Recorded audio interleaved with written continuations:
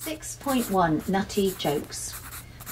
I got these jokes from that friend of Mum's who lives in Norwich.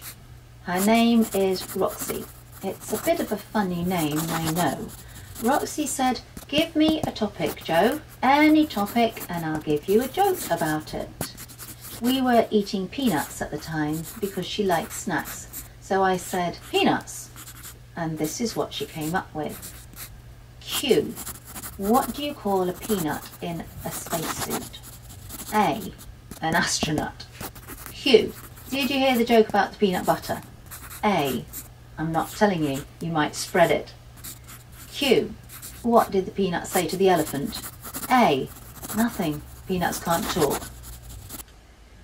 I asked Mum when we were going to see Roxy again. She just shrugged and didn't answer, so I asked her again. She said she wasn't sure if she wanted to see her again because she still couldn't forgive her for taking her father away from her mother.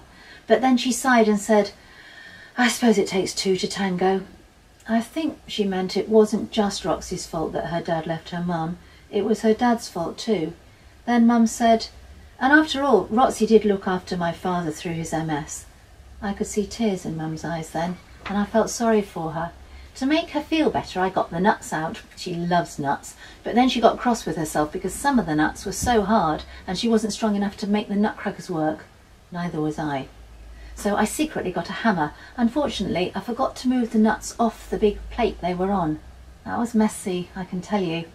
Mum went ballistic. She asked me who in their right mind would think of cracking a nut on top of a china plate. I said, someone who comes from China, thinking that might make her smile. But she stayed mad, so I tried again. Someone who's nuts? And she turned round so she wasn't facing me. But I saw her face in the mirror, and she was actually smiling. Phew.